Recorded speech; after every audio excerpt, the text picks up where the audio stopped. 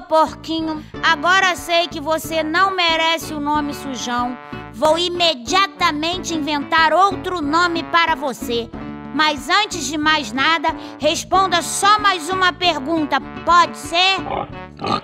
Pois não. Disse sério o sujão. E por que você não escova seus dentes? Seu bafo é tão forte que penso às vezes que vou desmaiar.